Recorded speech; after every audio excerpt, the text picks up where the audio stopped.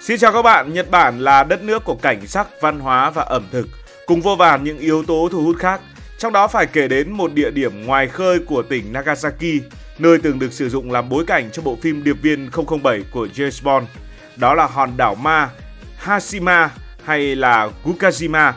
Có lẽ nhiều người đã từng nghe đến cái tên của hòn đảo này gắn liền với sự bí ẩn và ma mị. Tuy nhiên, chính hòn đảo này lại được UNESCO công nhận là di sản văn hóa thế giới vào năm 2015. Vậy lý do gì đã giúp hòn đảo Ma Hashima trở thành di sản văn hóa thế giới? Chúng ta cùng nhau tìm hiểu trong câu chuyện ngày hôm nay. Hòn đảo Hashima nằm cách tỉnh Nagasaki khoảng 15 km. Tỉnh Nagasaki tọa lạc tại bờ tây nam của đảo Kyushu, đảo cực nam trong 4 hòn đảo chính của Nhật Bản. Hòn đảo Hashima có tổng diện tích khoảng 6,3 ha. Từ xa, đảo Hashima được bao quanh bởi tường bê tông. Bên trong là những tòa nhà cao tầng như tháp ống khói của một chiếc tàu thủy đang lướt sóng ra biển Hoa Đông. Tại Nhật Bản, đảo Hashima vô cùng nổi tiếng vừa vì cảnh quan, vừa vì câu chuyện trong quá khứ của nó. Từng được mệnh danh là thiên đường trên biển, nhưng rồi lại trở thành một thành phố, một hòn đảo ma hoang tàn, không bóng người. Hòn đảo Hashima hay còn được gọi là Gukashima có nghĩa là đảo chiến hạm. Sở dĩ nó có cái tên như vậy vì hình dáng của đảo này rất giống với một ờ, tàu thiết giáp hạm của Nhật Bản. Hòn đảo có hình dạng kỳ lạ như vậy vì đây chính là một hòn đảo nhân tạo và là một sản phẩm của tập đoàn Mitsubishi tạo ra với mục đích biến nó thành mỏ khai thác than đá chất lượng cao dưới đáy biển. Sau chiến tranh thế giới lần thứ hai thì khu vực ờ, xung quanh đảo Hashima được phát hiện là có chứa nguồn than đá dồi dào bên dưới. Tập đoàn ờ, Mitsubishi, một ờ, tập đoàn lớn và giàu có của Nhật Bản, đã mua lại hòn đảo với giá 10 vạn yên vào năm 1890. Mitsubishi thì sau đó đã biến Hashima trở thành một hòn đảo nhân tạo vô cùng xinh đẹp. Cả hòn đảo đã được bê tông hóa với những tòa nhà trao trời hiện đại nhất thời đó. Đặc biệt, tòa bê tông kiên cố đầu tiên tại Nhật Bản chính là được xây dựng ở Hashima chứ không phải tại thủ đô Tokyo hay bất kỳ thành phố lớn nào trên đất liền. Sau đó thì bệnh viện, trường học, khu dân cư, khu vui chơi giải trí hiện đại cũng mọc lên san sát nhau. Chỉ mất khoảng 10 cho đến 20 năm, Hashima từ một hòn đảo nhỏ không ai biết đến đã trở thành một nơi có mật độ dân số đông đảo. Có khoảng à, 5.200 người tại Hashima vào năm 1959. Đã có những thời điểm hòn đảo chật trội đến mức hơn 5.000 con người phải chen chúc trong một tòa nhà có diện tích khoảng 0,16 km vuông. Và dù có diện tích bé nhỏ chỉ vỏn vẹn 6,3 hecta, nhưng à, Hashima nhanh chóng sở hữu đến 71 tòa nhà, cao ốc kèm những dây chuyền mỏ than. Hòn đảo chính là nguồn cung cấp nhiên liệu chính cho nhà máy thép khổng lồ Jaguar của thời điểm đó. Trong à, giai đoạn thịnh vượng nhất thì đảo Hashima đã được ca tụng với một cái tên vô cùng mỹ miều là thiên đường ở trên biển. Mọi gia đình, người dân sinh sống trên đảo Hashima đều có điều kiện, có tivi, có tủ lạnh, có mức sống cao hơn hẳn trung bình. Thậm chí đảo Hashima còn được cho là nơi đầu tiên có trang trại trên sân thượng của Nhật Bản. Mặc dù hòn đảo có giao hàng à, trái cây và rau quả hàng ngày, nhưng mà cư dân tin rằng nông nghiệp là một phần quan trọng của giáo dục và họ đã tạo ra trang trại trên sân thượng để dạy con cái cách làm nông nghiệp. Đây chính xác là khu đô thị kiểu mẫu có đầy đủ mọi thứ không kém thành phố lớn nào ở trên đất liền. Thế nhưng điều gì đã biến Hashima biến thành đảo hoang?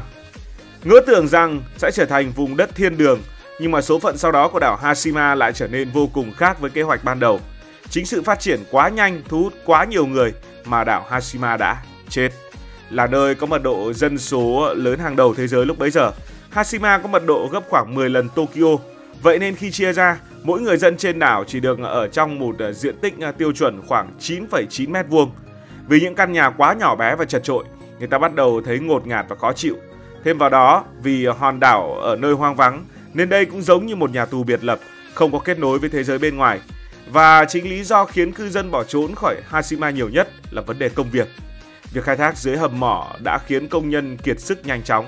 Rất nhiều vụ tai nạn lao động cũng xảy ra và mọi người lại càng thêm sợ hãi. Dù được trả mức lương vô cùng cao, các công nhân khai thác mỏ vẫn phải chịu một cuộc sống như địa ngục tại chính nơi được ca ngợi là thiên đường trước đó. Không khí thì à, đầy những chất độc và khiến cho con người sinh ra bí bách, ngột ngạt, chẳng thể sống nổi. Vậy nên chỉ trong thời gian rất ngắn, người ta đành phải bỏ của chạy lấy người, chạy trốn khỏi thành phố kiểu mẫu Hashima. Thậm chí có nhiều thông tin cho rằng trong chiến tranh thế giới thứ hai, Nhật Bản đã đưa những người dân thường của Hàn Quốc ờ, và những ờ, tù binh chiến tranh của Trung Quốc tới đây để trở thành những lao động bị cưỡng bức. Theo những gì chúng ta biết hiện nay, trong quãng thời gian đó, hòn đảo này được coi là địa ngục trần gian Ước tính khoảng 1.300 công nhân đã chết trên đảo từ những năm 1930 đến khi chiến tranh kết thúc do điều kiện làm việc không an toàn, suy dinh dưỡng và cạn kiệt. Và hòn đảo này cũng là nguồn cảm hứng cho một số bộ phim có đề tài liên quan. Cộng thêm từ cuối thập niên 60 của thế kỷ 20, kinh tế Nhật Bản bỗng chốc nhảy vọt với sự xâm chiếm của dầu mỏ. Những mỏ than dần đi vào quên lãng và đến năm 1974, Mitsubishi tuyên bố đóng cửa đảo Hashima. Chỉ trong vòng 2 tháng, mọi cư dân trên đảo này đã được di tản hết.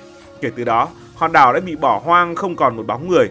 Đến đầu thế kỷ 21, tập đoàn Tài Phiệt phải trả hòn đảo về cho nhà nước Nhật Bản và cứ như vậy, hòn đảo Hashima giàu có đã bị giết chết bởi chính sự phồn hoa của nó.